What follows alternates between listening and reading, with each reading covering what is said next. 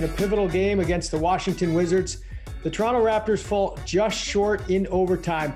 A big dent into their play-in hopes. 131 129 is your final. Raptors record now 27 and 40 on the year. Hello, everyone, and welcome to Raptors Nightcap. Randy Urban alongside Sherman Hamilton, Paul Jones, and Leo Rautins. Sherman, I'll start with you. This was just a weird game for me, just the way that it played out. I thought the Raptors were doing a great job defensively, and then it kind of fell off there at the end. How did you feel watching it?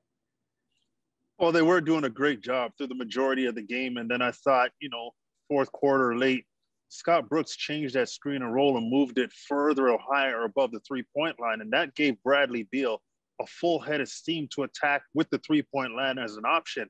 Prior to that, I thought the screening action was happening really on the three point line, and the Raptors were able to crowd the ball handler. So that mm-hmm. little bit of space opened up the, hand, the handle for Bradley Beal.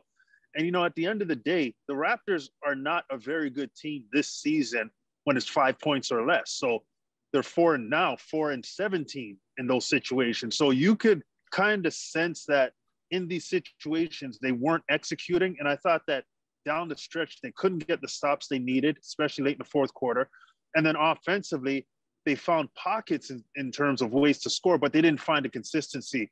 And they happened to make a three point shot to send it to overtime. So it was mm just a situation where we've seen all season long where they've struggled to close games out that are a close game. And, and it's something that they, they really haven't rectified all season.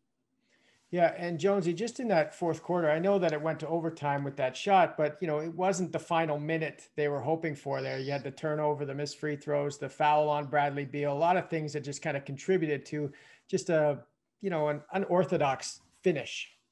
Well, I've talked about this before, and uh, uh, to Sherm's point, they had different personnel when they were closing out games. You know, Sherm called it four and seventeen.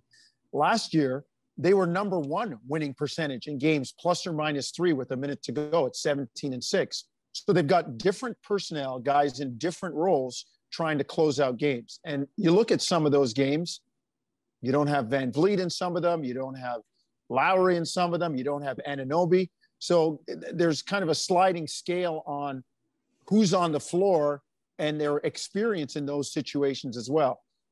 That being said, um, I thought Robin Lopez really hurt them tonight. Uh, mm-hmm. he hurt them with his big body on the inside scoring. He gave them second and third chance opportunities. When you fouled him, he was making free throws. Um, you know, I, I, thought his size really, really helped uh, Washington out tonight, and he was a big part of what of their win. Leo, what stood out to you? Well, that, that was a big one right there. I mean, come on. If you would have went into this game and saying the X factor is going to be Robin Lopez He's going to have 24 points and he's going to get to the free throw line 12 times, make 10 of them. You'd say not a chance, right? But that's what that's what happened, and, and he was he was tremendous. I mean, he was a bigger factor scoring wise than the entire Raptor bench, and we've seen a few situations like that. Uh, what was it? The Utah game, Jordan Clarkson outscored the entire Raptors bench. Uh, so that that's very difficult, you know, to overcome when one player uh, can do that. And uh, you know, you also saw what happened. I think it was three minutes to go in the game. The Raptors were playing well. They were kind of following their game plan. And my biggest concern at that point was, okay, you know, you've done a good job with Beal and Westbrook, but where do they shine uh, when the game is coming down to the stretch, right? Mm-hmm. And and all of a sudden they had drives to the bucket, both of them that they weren't getting. All of a sudden it opened up, so the Raptors started making mistakes. And you know, Sherm pointed out some of the adjustments Washington made uh, but the Raptors uh, just broke down a few times, right? And that's not the time to break down. That's the time where you got to lock in and really, you know, really continue to do what you're doing and finish the game strong. So uh, it was a great effort. Hey, for mm-hmm. you know, you're playing a hot team, you're an underman team, uh, and you had a chance to win. Uh, unfortunately, you fell short. And sure, no OG, and then late um, or you know, just before tip, basically, we learned that no Kyle today. What did you make of that? And and then what were some of the bigger performances that impressed impressed you? Well, I wasn't surprised. I mean, we, we've seen, especially over the last, say, month of the season, where guys are just sitting out for rest or for other injuries in, in situations that you would have expected them to play. So it's not a surprise to me. But in terms of, of guys who stood out, I thought Gary Trent Jr., for a guy who missed the amount of games that he missed, he came in shooting the ball very well. very mm-hmm. aggressively and made plays. I thought DeAndre Bembry had some good moments early in the game from the three point line. But for Washington, I mean, the guys talked about Robin Lopez, but Raul Neto was very good in that third quarter. He was aggressive, he shot the ball well. And in that third quarter, that's where I think Washington made up a lot of ground. They started to get back into the game and got really close. And, and I think he did a great job. But I, I just think that you know, for the Raptors, Pascal, in terms of scoring the basketball, had a very good stat line. But it was one of those nights where Robin Lopez and that bench for for the Wizards did a great job, and the Raptors just weren't able to get it done. And they had, in that one possession, they had three clean looks from the three point line, mm-hmm. and they couldn't score the basketball. Opportunities abounded for the Raptors. It just was not a night for that shot to go in. Jonesy, regarding Pascal, right? He everybody knows about the sort of tough tough time in the bubble, and then uh, you know a rocky up and down sort of beginning to this season. But he's really put together, you know, a nice finish here and, and a career high tying 44, and, and it's the efficiency for me. It was 17 of 28, I think it was. Just an all around good game offensively for him. I've been impressed with his aggressiveness, especially the last few games. Uh, you know, every time he saw Davis Bertans in front of him, it was look, we're going to the basket. And, and to the point where I think Bertans took some frustration fouls out top just to stop the clock so they could get the switches, uh, the, the defensive assignments back, and he wasn't switched on to Pascal. I, have been uh, impressed with his aggressiveness. Uh, I, have been uh, impressed with his heart and, and his ability to say, okay, I'm the main guy. We're going to do all we can to win games. And uh, right now, if you're if you if you look at Pascal Siakam, there's no losing. They either win or you chalk it up to experience on, on, on a night like tonight. So uh, I, have been impressed with his aggressiveness, his assertiveness, uh, his willingness to be a leader and, and, and take it on his shoulders and kind of let the chips fall where they may and say, you know what, I'm learning for the next time I'm in this situation. So Leo, then what's next for Pascal? Where do you see the the growth that that's required to get to the next level? I think for all great players, what do you strive for? It's consistency, right? You want to be you want to be there as close to you can to the same place every time you step on the floor.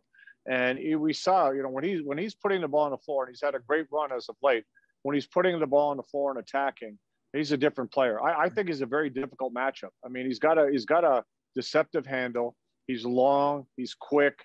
Uh, and, and if the jump shots, you know, falling, you don't have to be crazy. But if that's falling, he puts a lot of pressure on people trying to guard him. And you look at teams, they throw different people at him, but it's really hard to deal with him. Uh, and, and, that's what the Raptors not even being at full strength, where you can cheat more and try to help. So uh, I think it's just consistency, uh, mm-hmm. finishing games the way you start them, being strong, uh, and then defensively not have any lapses as well. Uh, I think at times he shows he can be a really, really good defender using his length and quickness. At other times, he just kind of kind of disappears uh, and just try to stay in the moment. You know, take a page out of, you know, Fred and Kyle's book where you just realize you got to play a certain way every time you're on the floor.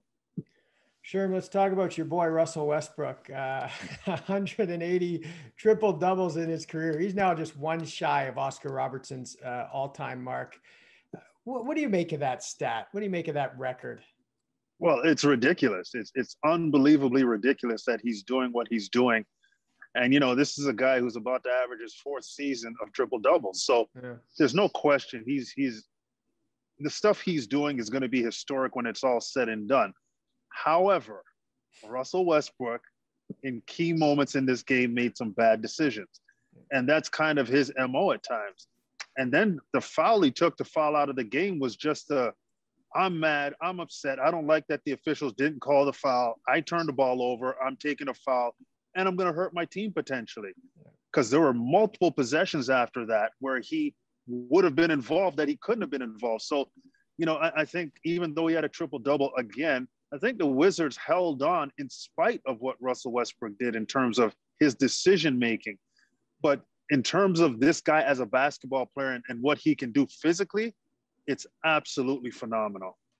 Seven turnovers, Randall, uh, to yeah. Sherm's point, and and you know, I, our, our, guy in the bottom corner on my screen, Leo Rautins, always says something, and I've always kind of held on to this. A guy like Westbrook does stuff because he can. Doesn't mean that it's the right thing to do, but he can do it. He he he will take a shot. Why? Because I can. I can get my shot. It may not be the best shot for the team. And and you know, to Sherm's point, he is a great player. But the question will remain: Are you a winning player? Are you making winning plays consistently for your team? And I think that's where the jury is still out on Russ. Yeah, Leo, it's interesting, right? He has 17 rebounds, and I'm like trying to think back. I'm like, hmm, wh- which one of those was impactful? Or, you know, I think there was one near the end of the game where he kind of came flying in and, and collided with someone. But like, I don't know, the stats are kind of at times empty. Well, hey, yeah, what, what impresses me is, you know, 17 rebounds for a guard is, is crazy. Yeah. And and what does Nick Nurse want his guys to do? He wants he wants guys to rebound and go, right? Why? Because you're a faster team, you're a quicker team. So when your guards can rebound, it, it can really change your transition game. And when Russell Westbrook is active on the glass like that and he can bring up yeah. the ball, it changes everything, right? Now the Raptors did a pretty good job of controlling that, uh, but you know that that's a great number. But you know, like like Paul and, and Sherm say, you know, he's a tremendous athlete. I mean, I, I marvel at how hard he plays. Uh, I love his intensity. He's not out there making friends. He wants to kick your rear end. Uh, yet at the same time, he does some things that you just shake your head. Uh, yeah. And the turnovers, the turnovers can be costly. The, the shot selection can be costly. Uh, the Raptors won the last game they played largely because of decisions he made down the stretch. Um, and, and I think that's what separates. I think we got to be careful when we look at statistics that he's also playing in an era where the statistics are different. Uh, mm-hmm. they're much more inflated. And again, I'm not taking anything away from because you're averaging a triple double. That's pretty impressive. But when you talk about the great guards, great players do things because they're the right things to do. All right, we have to take a break here on Raptors Nightcap. But when we come back, we'll hear from the head coach and the players in the Raptors virtual locker room.